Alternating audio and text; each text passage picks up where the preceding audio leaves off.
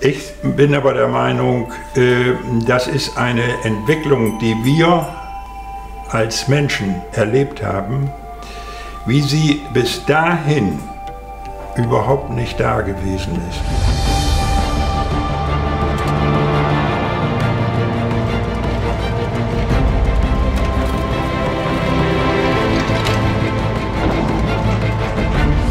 Es war der 5. Mai und ich war damals Tallymann bei einer Firma am Bremer Überseehafen, die hieß Alex und Kreie. Die ist wohl bekannt, ja. Und der alte Kreie kommt zu mir, wir hatten uns in Karlsruhe kennengelernt. Dann sagt er, komm mal zu mir nach Bremen, dann kannst du bei mir was machen. Und morgens sagt er, geh mal zum Schuppen 16, da kommt so ein Schiff mit großen Kisten an. Was die wollen, weiß ich nicht. Und wenn du fertig bist, kommst du wieder.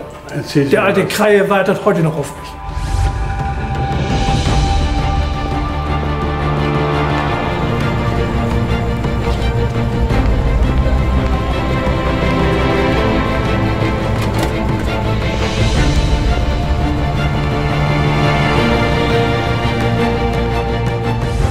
Situation war die, dass die Vorgesetzten bei uns damals sagten, pass auf, haltet euch vom Umschlag fern.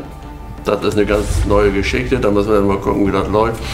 Aber da kamen klare Ansagen, also dass wir uns da äh, fernhalten sollen. Wenn das, der Container runterkommt, dann trifft er das Chassis gar nicht mehr. Das Schiff liegt ja so. Und äh, Dabei muss es auch passiert sein, dass ein Container rausgeflutscht ist, nicht? Der zweite. Ja, Gott sei Dank war der leer und wog nicht so viel, sodass das Ganze alles im erträglichen Rahmen blieb. Ne? Ja, die Zugmaschine war, war kaputt, der, der Trailer hatte ein bisschen und äh, der Fahrer war ein bisschen durchgeschüttelt, aber nichts, nichts Ernsthaftes. Wir kannten den Container zwar von den äh, Truppentransportern, das waren aber kleinere. Das waren äh, 8 Fuß ja. und maximal 10 Fuß, die mit bordeigenem Geschirr oder mit speziellem Ladegeschirr dann äh, für die Truppen äh, umgeladen wurden. Aber im Prinzip sprach man mehr von Blechkisten.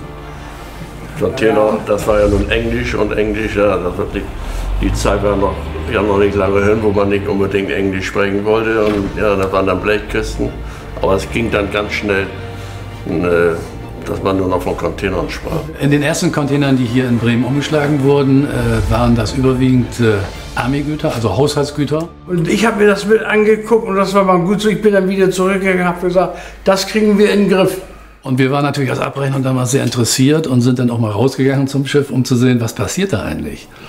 Und äh, sind dann zum Schiff gegangen, haben in die Luke geguckt und sahen dann zwar Container in der Luke, aber meistens Holz, Draht und äh, Verzerrungen. Und man sah also, dass ein Riesenaufwand erforderlich war, um die äh, Ladung, die Container äh, zu befestigen. An Deck gab es dann schon ja Lasch-Systeme. Und äh, die hatten dann so Kragarme, das muss man sich vorstellen, das war also eine Brücke. Und dann war der Kragarm, der wurde hochgefahren hydraulisch. Und dann war also ein Spreader auf der Brücke drauf der die Container an Bord aufnahm, dann rüberfuhr zur Landseite und dort absetzte. So, und auf dem Spreader in einem, ich sag mal so einem Käfig, da stand aber ein Kerl von Format. Und der hat dann diesen Spreader gefahren und er fuhr auch immer mit hoch, rüber, aufnehmen, rüber, hoch, rüber, absetzen und so ging. Das war für mich also das Beeindruckendste. Sowas hatte ich bis dahin äh, in meiner technischen Laufbahn noch nicht gesehen. Zu dem Zeitpunkt haben wir noch nicht gewusst, dass wir am Ende von Schuppen 24 ein für Sealand ausschließlich hergerichtetes äh, Territorium bekamen mit einer amerikanischen Brücke, der berühmten Pacífico-Brücke. Der Hauptschalter, der hatte so einen Hebel, ein Federwerk, den musste man siebenmal aufpumpen, diese Federspann.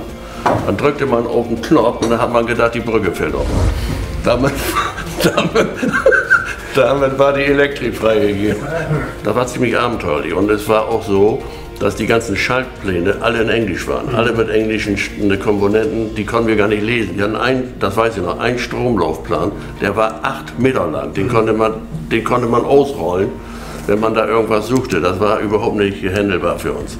Das war eine sehr schwierige Zeit, aber die, als die ersten großen Unternehmen Haus-Haus-Container buchten, da war der Durchbruch, der Durchbruch geschafft. Das Gold lag in der Leistung, die mit dem Containerumschlag erzielt wurde.